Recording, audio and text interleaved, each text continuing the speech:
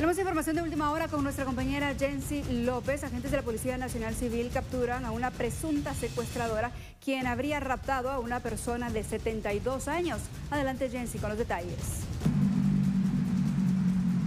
Buenas tardes, agentes de la Policía Nacional Civil reportan la captura de una presunta secuestradora. La mujer ha sido identificada como Daisy Elizabeth Vázquez Pérez, de 19 años de edad, y la aprehensión se dio específicamente en la colonia Piedras Negras, Santo Tomás de Castilla, esto en Puerto Barrios, Izabal.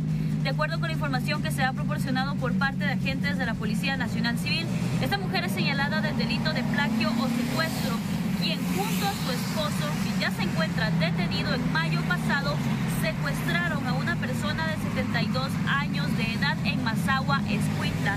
Según la información que se ha dado a conocer por parte de Policía Nacional Civil, ellos por la liberación de esta persona un total de 3 millones de quetzales.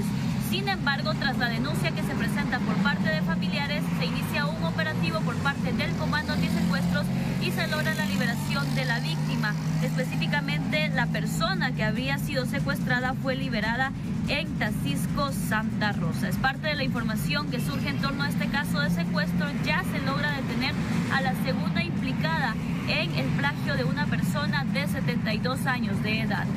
En cámara, Pedro Calel con este reporte.